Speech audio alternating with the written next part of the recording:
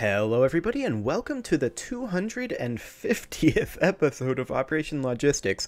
This has been going for, uh, shall we say, quite some time. And here's the thing I think I'm ready for a break. I have been making an episode of Operation Logistics every single day now for 250 days. And yeah, I think I'm ready to step away from it for a little bit. However, I, I'm going to go ahead and say it will not be very long. So I have a plan in mind, and we're not really going to get any programming done in this particular episode. This is going to be kind of a wrap up of, I guess we'll call this the first phase of development. And then we'll have another phase after my little bit of a break that I'm going to detail in just a little bit. But first, let's just go through and look at what exactly we have here. So, over the last 250 days, we have created this. The loading screen doesn't even pop up because it loads so quickly now, at least on a 5x5. Let's actually go ahead and bring that up to the full 50 by 50, just because, I'll be honest, I'm a little bit curious. I want to see just how bad it is when we have 50 by 50 and we're attempting oh boy we're attempting to go into coverage map mode. This is going to be this is going to be awful. But regardless we're just taking a look at what we've done here. Um we broke something. What did we break? And also but how? It didn't output anything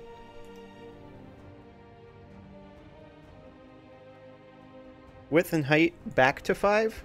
I'm confused. How did we break that?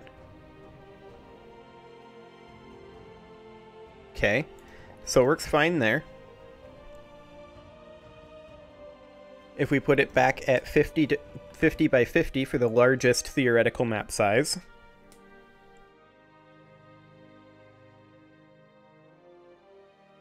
Oh. I know what the problem is. I think we have the loading screen fully turned off, don't we? I suspect we do. And so there's nothing there to clear flag because it's actually loading. Uh, let's check here. Yeah, the loading screen defaults to off. Let's turn that right back on. Now we should be able to see the loading screen at any rate. There we go, that's more like it. And it's actually generating reasonably quickly now. We've gotten some optimization. Of course, it slows down as we go on. But we were taking stock of what we've done so far in these 250 days. And we've created this loading screen, and it generates a pretty large map with 13 million tiles. We need to do some optimization here and there, but the map generation is quite solid at this point. It's pretty much done other than optimization. There's a lot of optimization to be done though, but that's not the focus of the first stage of development. That's, I guess we'll say, the focus of the third stage of development. Because we're probably going to have a second phase and then a third phase, which would be the more polishing section the third, the second phase would be wrapping up all the mechanics, starting to work on some optimizations, things like that. But for right now, here we have our map as soon as it finishes loading with these big old garbage collection spikes. There we go. So go ahead and skip this tutorial. And here's our map. Excellent. So we generate this map, we generate the biomes, there are three total biomes for world hexes, it, it can scale to theoretically any size, and at this point, it doesn't look all that impressive.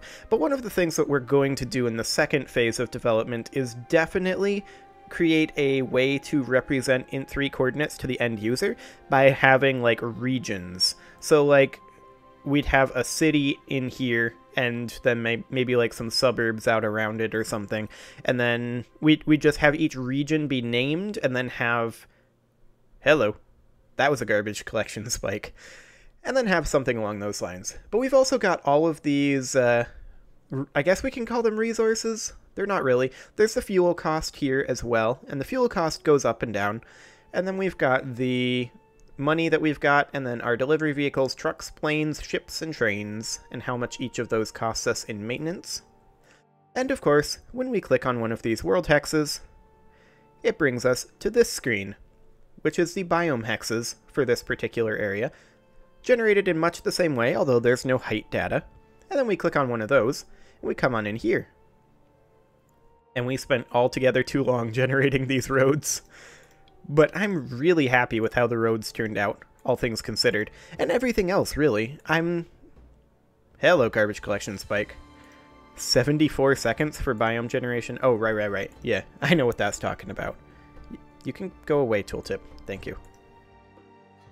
And of course, we've got our map modes here. We're going to get to those at the end, though, because I suspect I may have to uh, open Task Manager and force quit. Because I think it's going to take a really long time to generate coverage.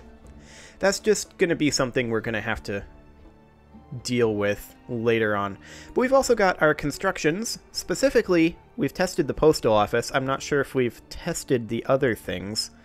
We've got our demolition mode, route management for creating routes, that's all working fine, and our land management. So let's just go ahead and purchase this upscale housing here, and then we'll demolish it.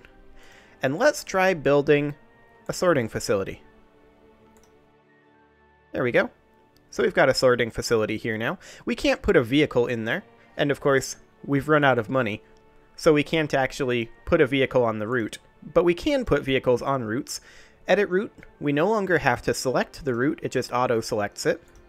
And we can have our path set up like this. We can even send it to a different biome hex, and we can even send it to a different world hex. If we want to come up here, go back into edit route mode, and come up here, that takes a little while. That's something we'll need to optimize, to be sure.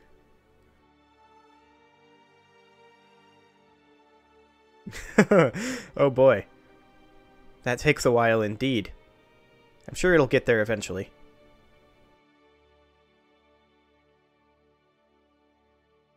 I didn't expect it to take this long. I thought we got it much faster than this.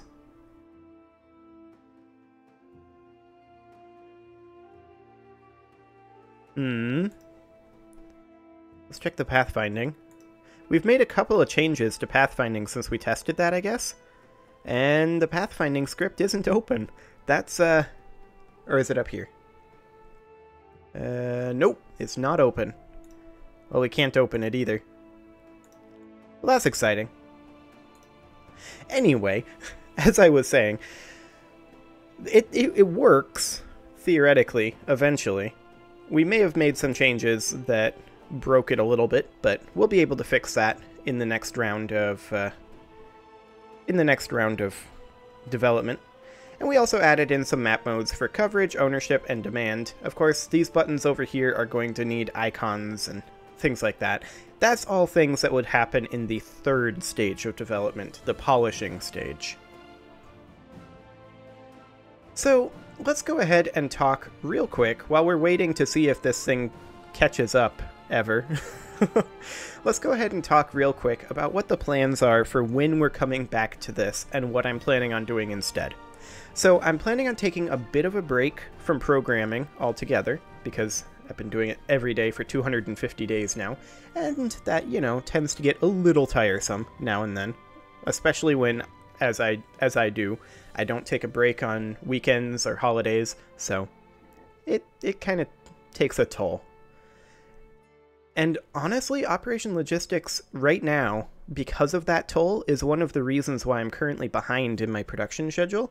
Because I look at it and I'm just like, ugh, I just don't feel like it. So I think I really need this break. Anyway, as I was saying, what is my plan? My plan is I'm going to play a little bit of Kerbal Space Program in this slot. So I had a, a concept a while, or not really a while back, like a week ago, that I was going to do off camera in single player, and that was a career mode spaceport built on Minmus. And that sounds like a nice little short term project that I could put together, maybe have done in, I don't know, 30 to 60 episodes tops? Absolutely tops, depending on how bad I am at landing at the same place. That's never really something I have tried to do in Kerbal Space Program. So that's going to get exciting. That's going to start up tomorrow at 10 a.m. So that will be on the 14th of June. So yeah, that's kind of the plan. And then immediately following that, we will begin the second stage of development of Operation Logistics. And it kind of looks like this isn't coming back, doesn't it? That's a little exciting. Okay, time to fire up the task manager and take a look at what's going on here. Interestingly, the Unity editor is currently only using 4 gigs of RAM. That's fascinating. Usually when we have the map this big, it's using more like 12 gigs of RAM. That's very interesting. That means that most of that is editor overhead that I wasn't seeing before. Because this is a fresh startup. Okay. Well, that means we're doing a lot better on RAM usage than I thought. That's a good sign. So, um, I'm going to go ahead and, in the release calendar here for the Operation, Operation Logistics to-dos, I'm going to move the vehicle loading from down here to right here. Vehicle loading. Okay. So with that being in, in the in the schedule there. We're going to keep this around, and uh, I'm, in fact, I'm going to go ahead and move this right now. Whoa, okay. I'm going to go ahead and move this right now into July, because I expect we will probably be back to Operation Logistics either in July or August. I'm not sure which yet, but it'll be somewhere in there depending on how quickly I get my goals achieved in Kerbal Space Program. So this is going to be a relatively short break as long as my channel goes. No, uh, no MechWarrior 2 situation going on here, I hope.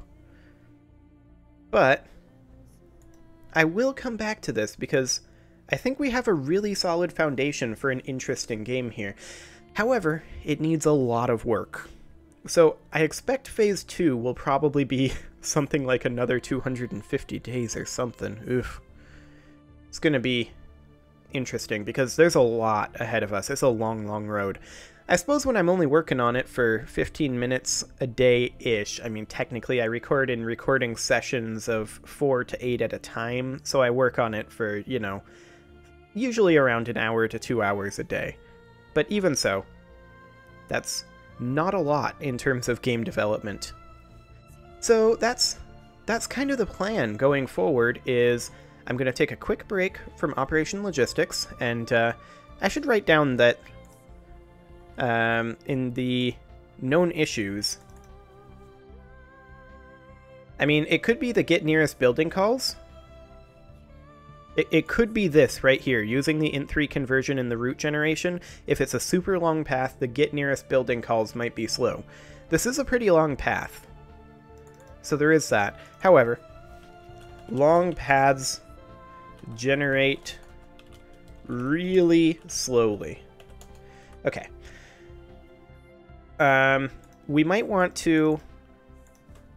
We might want to convert pathfinding from vector 3 directly to int 3. Okay. Now we've already got this here, but having it in multiple places is fine.